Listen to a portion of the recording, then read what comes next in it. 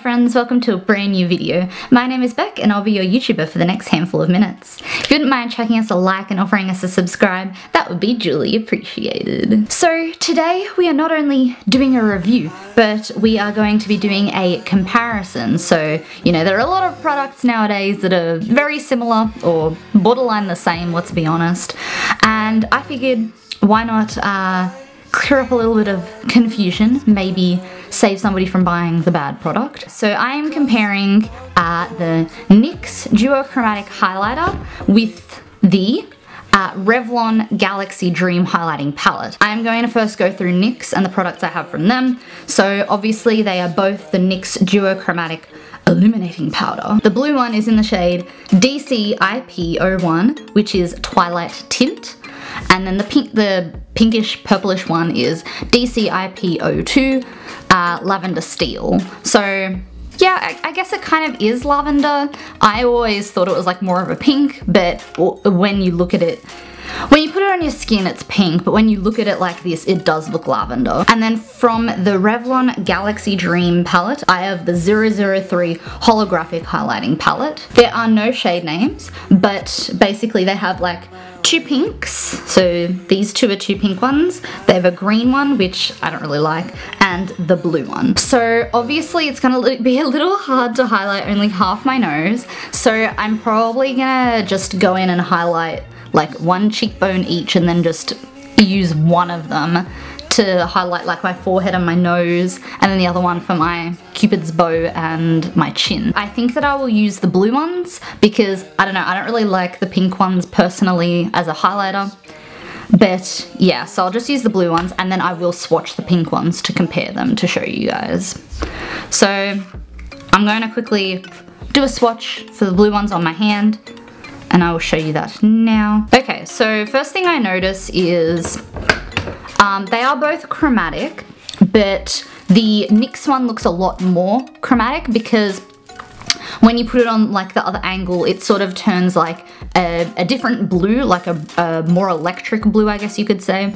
Whereas the Revlon one, when you put it on the angle, it sort of turns like a, a silverish white. It's almost like it, it, doesn't know how to be a chrome or it's just trying to aim for a different color. Um, I don't know, I don't really like it. I prefer the blue chrome, but yeah, I don't know personal preference, I guess. So I'm not sure if you guys can really see um, on the screen and like in the camera and everything what I mean by more of a blue undertone, but the NYX one definitely has a bit more of a blue undertone.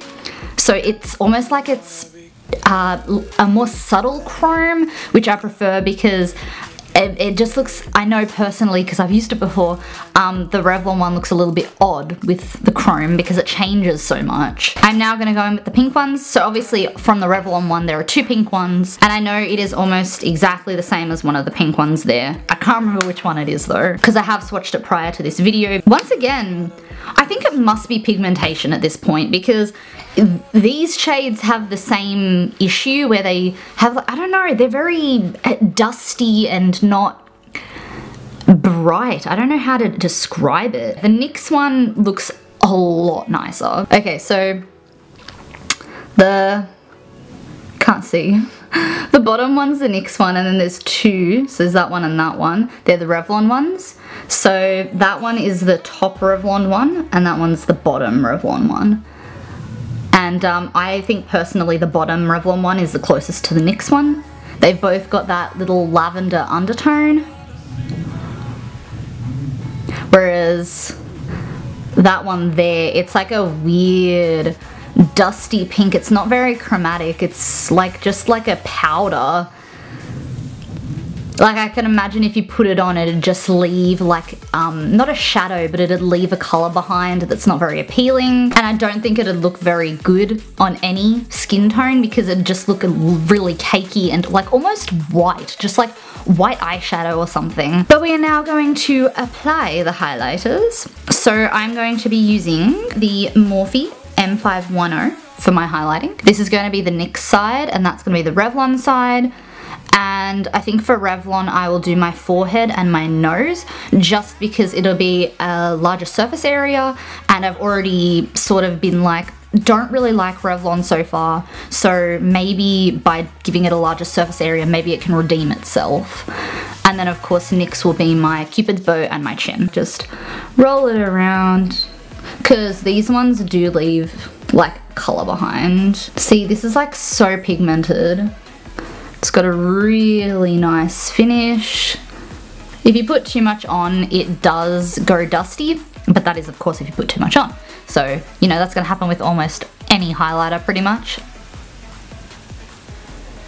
Oh wow, yeah, already I hope you guys will be able to see it, but um, yeah, this is a lot less of a blue. Like how before I was talking about how it doesn't really have that blue undertone, like as the second color. It's like sort of like a gray or a white. I don't know if you can see that. You can probably tell that it looks a lot whiter and it may look good in the camera but it doesn't look as good in real life and it leaves ooh ooh ooh I hope you can see that um, we're gonna bring it in close a little bit. There's a shadowing and I've seen this with a bunch of highlighters even like high-end highlighters. You can see there's like a little shadow. It's like a I don't know it's like a weird blue gray bluish gray. It's like just there and it's not like I don't know it's weird so that's a lot whiter and grayer. This one's got more of a blue undertone. It's a bit, it's very, uh, it's a lot softer and warmer because it's not white because the white is a little harsh. I actually kind of feel this one is a lot more pigmented, weirdly enough. I just don't like the color as much and the fact that it leaves that little shadow, the gray shadowing. So I'm gonna go ahead and I'm going to do my Revlon areas. So my nose, that's my nose, my nose and my forehead and we'll see what happens there. Yeah, nah, it's still definitely got that grey undertone shadow. I wouldn't even say that this is blue. It's weird. And then, oh, it looks good on the nose. That's really pretty on the nose. Now we're gonna do the rest of the NYX highlighting. So that is the Cupid's bow, which you shouldn't do after lipstick. Um, but we work with what we've got and then the chin. Oh, that's that. I don't know. I think I do prefer the NYX one. Um, so just looking, even just looking on my fingers, um, the NYX one actually kind of looks a bit more pigmented this time. The color is once again a lot brighter and less gray. Um, so it's a lot less ashy. It's more of that lavender. Um, so I don't know, I guess that's just the thing with the Revlon palettes. Maybe that shows that it's a bit of a, a cheaper, um, and I don't mean that it costs us cheaper, but it costs Revlon cheaper to make than it does for NYX to make their own. So because I do notice that in a lot of um, drugstore foundations, the darker foundation colors are ashy. So ashy is probably side effect of using cheaper ingredients. I'm going to go over the pricing just to, you know, be fair. So the NYX, um, the NYX one, it costs $19.95. Um, these are all Australian dollars, by the way. Um, whereas the Revlon one costs $24.95. Now, of course, you are getting four highlighters, but you have to take into account the quality of the product. Um, so with the NYX ones, you get six grams and the Revlon one you get 14.4 grams. Now I'm assuming that means the weight of the product, not the packaging as well. Otherwise that is very misleading. Um, but of course you could be like, look how great this is. You get four shades, but it's sort of like, uh, well, the, the first pink one, that's just like white powder. The, the second pink one, yeah, yeah, that, that works. You could use that as a highlighter. The, the green one, um, uh, what does green look good as for a highlighter? It's a, it's a, it's a bit of a, one, a weird one and I'm using it right now and it's not very pigmented, so I'll show you guys quickly. It's uh, it's not very pigmented. Look, I'll even do some more. I'm digging my finger in there. There we go, that's a little better. Look green. It looks like, I don't know, it's weird. The green one actually doesn't look like it's got that ashy grey. That actually doesn't look too bad actually. But I don't know, I just think it's kind of weird because it's green. Um, but it definitely seems like it's the best in the palette. And then the blue one, yeah, the blue one works. But you're technically getting maybe two shades that you can definitely use. And now, of course, you could be like, well, you're getting, you're getting two of these. And that'll be, what, 38?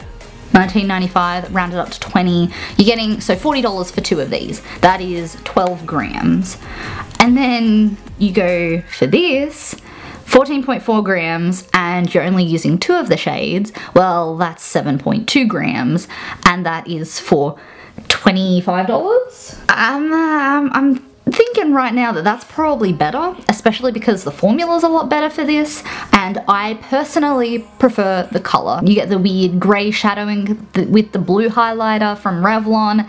I don't know, I feel like the NYX one is a lot better for money, and yeah, I don't know. I think it's a a lot better a product personally. So I think overall I'm gonna have to say I think NYX is the better product and NYX is the better value for money.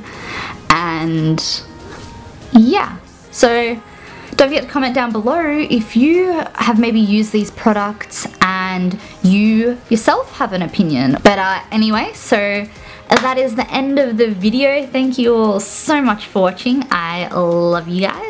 Don't forget to comment down below if you have any comments, questions, or queries. I always reply. And don't forget to hit the little bell button next to the subscribe button so you never miss one of my videos. And uh, yeah, I'll see you in one of the previous videos or one of the next ones. It depends. Bye.